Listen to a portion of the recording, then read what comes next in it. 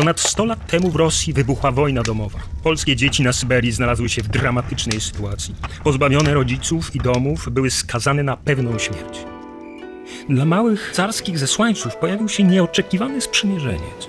Dzięki wsparciu japońskiego Czerwonego Krzyża polskie dzieci dostały szansę na nowy start. Polski Komitet Ratunkowy we Władywostoku nawiązał kontakt z japońskim konsulem. Potem poszło już szybko. Sprawą zainteresował się dwór cesarski, a nawet sama cesarzowa. Czasu było mało. Syberia pogrążyła się w krwawym chaosie. Bolszewicy szykowali się do ataku. Japoński Czerwony Krzyż poruszył niebo i ziemię i udało się. W lipcu 1920 roku pierwsza grupa dzieci dotarła bezpiecznie do portu w Tsurudze. Troskliwi Japończycy powitali je pięknym gestem jabłkami. Smak tych owoców po okresie głodu i chorób pozostanie w ich wspomnieniach na zawsze. Do końca 1922 roku do Japonii przybyło 765 dzieci. Znalazły one schronienie w sierocińcu Fukudenkai w Tokio.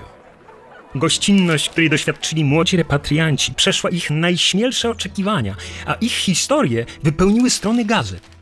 Symbolem poświęcenia Japończyków była pielęgniarka Fumi Matsuzawa, która zmarła po zarażeniu się tyfusem.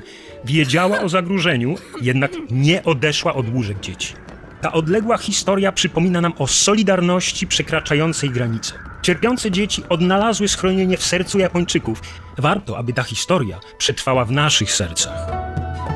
Sto lat później w Warszawie licealiści z Tsurugi wspólnie z polskimi rówieśnikami posadzili 100 młodych jabłonek, nadając im swoje imiona. Wszystko po to, aby przypomnieć niezwykłą więź Polski i Japonii, przypieczętowaną wspomnieniem smaku podarowanych niegdyś jabłek. Jabłonki upamiętniające te niezwykłe odruchy bezinteresownej pomocy i współczucia zakwitną również w Japonii. W porcie w Tsurudze, gdzie polskie dzieci zeszły na przyjazny ląd oraz w dawnym ośrodku Fukudenkai, gdzie znalazły schronienie pod troskliwym okiem japońskich mnichów.